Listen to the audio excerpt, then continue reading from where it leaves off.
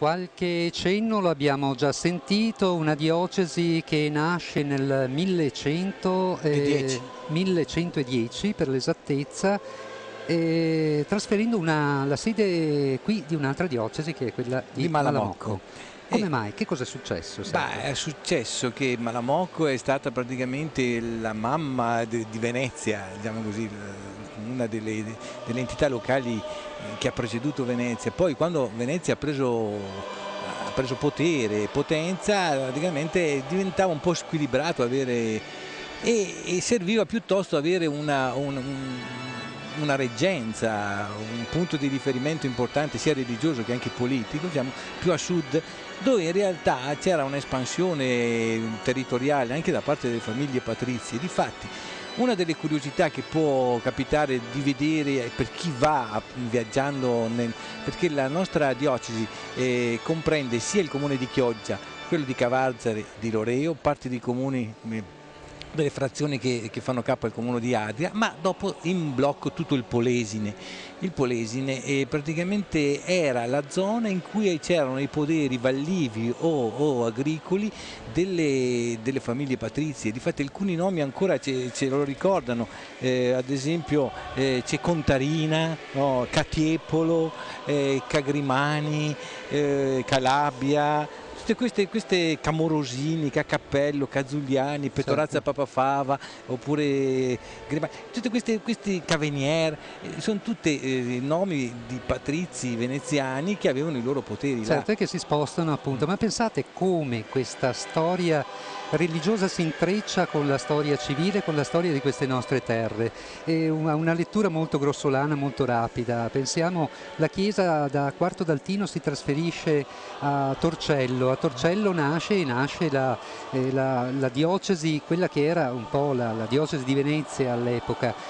da Torcello poi si sviluppa in realtà Venezia e tutto si trasferisce su Venezia. Noi invece da Aquileia, e che cos'è, Garado, che cos'è? Metamauco, e, e, Malamocco e, e Chioggia. Ecco. Quindi c'è questo, questo, eh, questo, sviluppo molto particolare che è molto segnato dalle vicende religiose di queste terre. Infatti c'è una coincidenza fra l'avvento delle reliquie di San Felice Fortunato, quindi dei patroni della città e anche la, la nascita della città di Chioggia. Difatti eh, ehm, è una mistura medievale forse, che però ha una coincidenza molto... Nei, nei, nei primi quadri civili che troviamo nel Palazzo Pretorio, eccetera, troviamo proprio la giustizia San Felice Fortunato.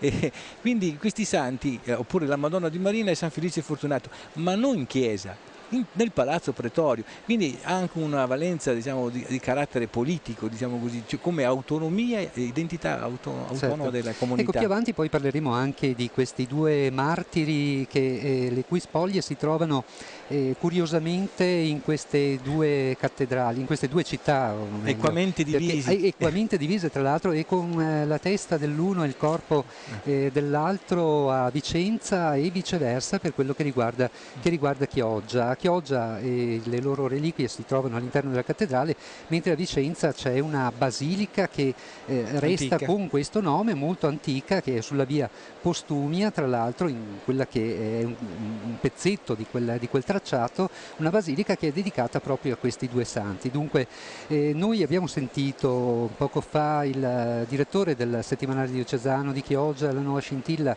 Don Vincenzo Tosello, che accennava eh, a, a, così al al, a dei riferimenti pastorali legati al vescovo Angelo Daniel che tra l'altro vedremo tra poco qui presente insieme al, eh, al, nuovo vescovo di Chioggia che ha dato le dimissioni, ricordiamo, per raggiunti i limiti di età in gennaio. E Mirko Cavallin lo ha incontrato proprio per eh, eh, tracciare un po' una rapidissima sintesi di quello che è stato un episcopato eh, che si è fermato con lui e che adesso continua con un altro vescovo. Sentiamo.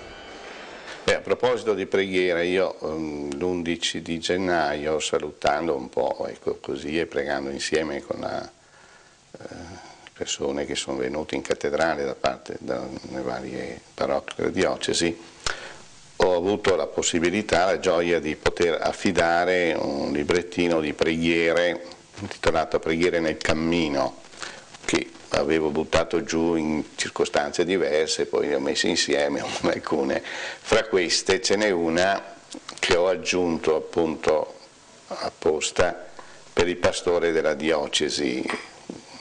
Mi pareva giusto e bello che ci si trovasse insieme ecco, a pregare per questo compito e per chi lo assumerà. E dice così Signore Gesù, tu che hai chiamato gli apostoli perché stessero con te e mandarli nel mondo, benedici il Vescovo che hai scelto per noi e accompagnalo nel suo ministero. Fa che sia animato dal tuo spirito di sapienza, di fortezza e di bontà. Ci aiuti ad aprirci ai poveri, agli ultimi, alla dimensione missionaria della Chiesa. Non abbia mai a sentirsi solo, ma sia sempre sostenuto dalla solidarietà, collaborazione e preghiera di quanti gli sono affidati nei momenti facili e anche nelle ore difficili donali la serena fiducia che viene dalla grazia del mandato ricevuto e dalla certezza della tua risurrezione. In tutti i giorni del suo servizio pastorale in mezzo a noi, concedili di essere portatori di fede, di coraggio e di pace, seminatore di speranza.